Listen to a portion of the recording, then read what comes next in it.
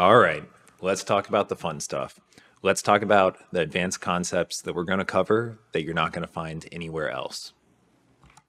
So, we're going to talk overall about how to complete a versatile muscle workflow that can radically speed up your projects in both VFX, games, and any other type of projects that you might come across. We're going to talk about automating pre-roll, and this is a huge thing. Ever since the the start of character effects, you've we've needed to you know, have pre-roll for shots. You know, what if you have a shot that starts mid-motion? Somebody's like punching somebody and the shot starts midway through their punch. Well, the first couple frames are going to look inaccurate unless you have that pre-roll. And so there's kind of a long discussion about um, or debate about who is responsible for this pre-roll. You know, the CFX artists don't want to do it because they feel like it's an, an animation job. Uh, the animators can do it, but it's hard to understand how long things should be. If you have pre-hold, if you have you know ramp up, if you if you need to dilute some of the locomotion because it's too strong and too powerful, too fast over a, a large distance. So we're going to talk about how to completely automate this. And I know that might sound like a holy grail to CFX, but um, you know we we're going to talk about how you can automate this pre-roll, adjust it, and edit it purely as the CFX artist in a mathematical sense, to where uh, none of the animation is um, you know it, it, it, it won't have to rely on our artist, artistic ability. We can just rely on our technical um, crafts, craftsmanship. Okay. So, uh, like I said, with automating the pre-roll, we're gonna we're gonna talk about automating, increasing, decreasing locomotion and limb momentum. So, what this means is that let's say, um, like for example, uh, I I used to work on uh, a couple of different Marvel movies, and um, it's it's it's totally muscly people in tight fitting clothing. So like there's lots of muscles going on, there's lots of jiggle going on, lots of CFX. And you know these characters, like if you look at one of the Superman movies, um, or you know if you imagine like if you were trying to simulate like something like Dragon Ball Z or something, these characters are moving an extremely fast rate, an inhuman, in physical, unnatural uh, rate because you know they just need to almost teleport sometimes to get to places. Um, and you know, they are also traversing such a large distance, or they're so incredibly large, so incredibly small. You know, think of something like Ant Man, and, and, he he need his simulation needs to look different, whether how big he is, how small he is, um, how fast he's moving, how far he's moving. You know, like when he goes really small and jumps around very quickly, and you know, we need to be able to control this stuff. And so sometimes. Uh, we need to dilute the locomotion. So we need to slow down um, or decrease the amount of movement the character is uh, doing. And then we need to simulate it at that movement. So imagine it instead of uh, moving 10, 10 feet, they only moved one foot. And then what we need to do after we simulate that at one foot is we need to re-inject that momentum uh, inversely from how we slowed it down. Now, then we have limb, actual per limb momentum.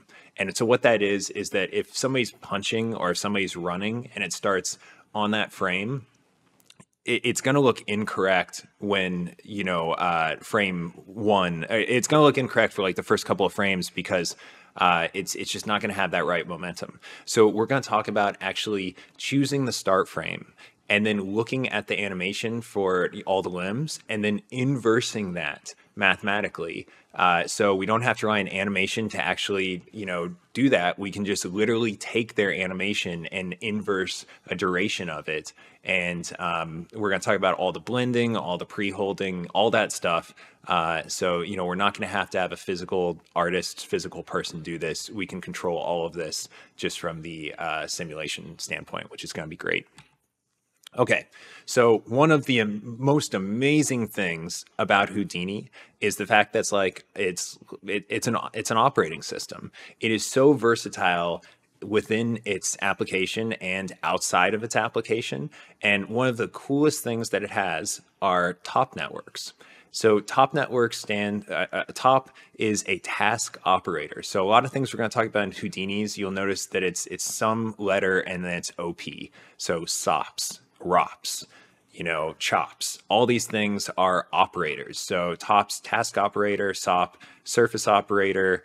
Um, you know, you've got chops, channel operator, uh, ROPs, render operator. So um, we're we're going to look at how tops can delegate all of our simulation in a sequential manner but also with parallel evaluation based on how many cores we have on our local machine and then we're going to look at how to you know log that how to export it how to do sequential simulations um, and batch simulations uh, and then you know on in, in addition to you know our, our, our top operators we're going to look at how to wedge out these simulations. So wedging is essentially when you know let's say that you have you have hulk and you're like i want when hulk's arm flexes i want his bicep to increase um, well i don't know if i want to increase 1.25 the volume um, you know when it when it contracts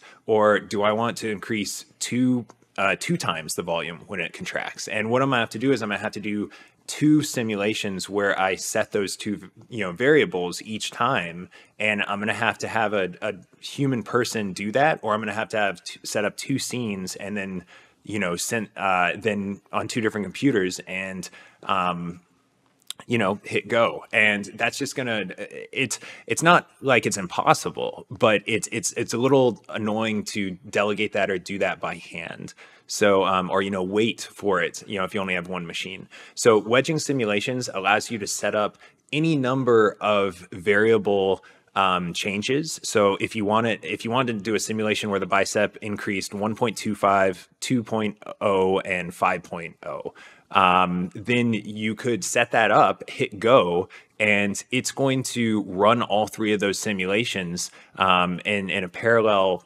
manner, uh, depending on your computer resources, or you know you can send that out via deadline um, and into a farm job, and then when you come back, you're going to have those three variants, and you can review those um, as opposed to you know only seeing one, and then after you see one, realizing oh we need to try another one, we need to try another one. So so this is great if you have the computer resources and you know something's just sitting idle. Why not try a variety of wedged attributes and pick the one that you like the best. You know, t- because simulation is all about a race against the clock when it comes down to it. We're not at the whim of the of the artist and the amount of time or how fast an artist can do something.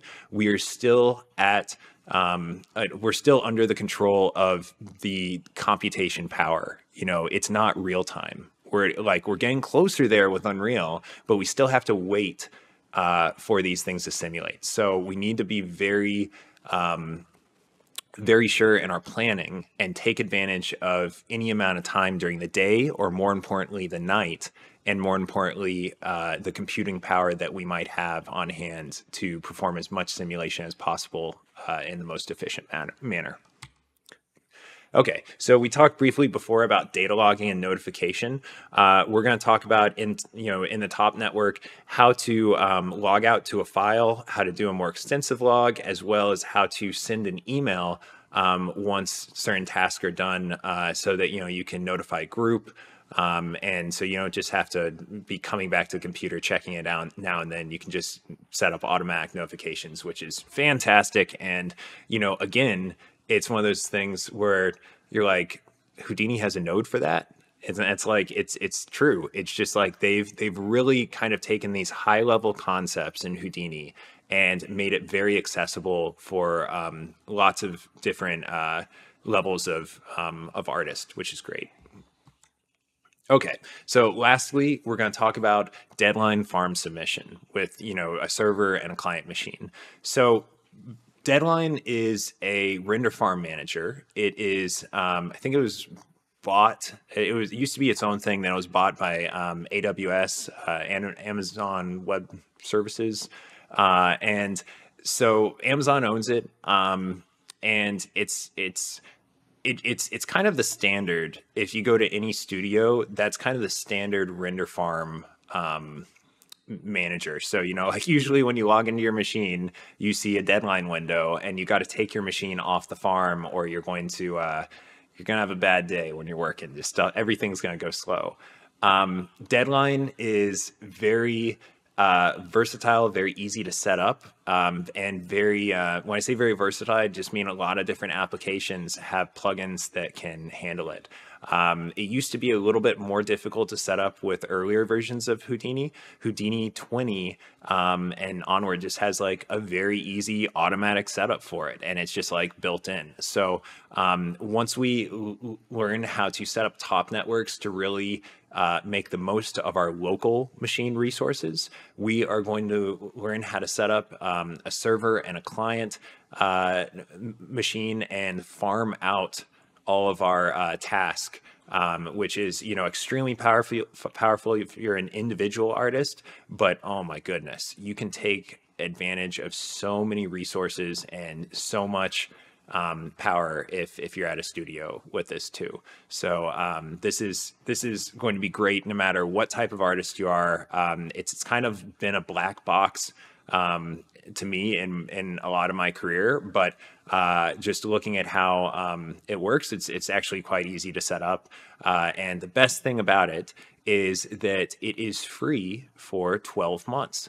Um, and free in quotes, meaning that uh, they will, um, you know, if you have obviously a large team or if you're pumping a lot of data then you um, you have to pay for it. But they've got a notification service and a um, kind of a, a governor service on it to where it's like you can set your limit to like zero or one cent. And if you go over one cent it'll stop you or it'll send you notifications. So even if you want to just try this out um, you know same with houdini. If you if you don't own houdini and you want to um, try this out you can do the apprentice mode in houdini which is free. And you can also do a free trial of deadline. Um, everything that we're going to cover is free. And uh, you know it's great because you can get in here you can understand this you can uh, learn it. And um, you know you can use it for your projects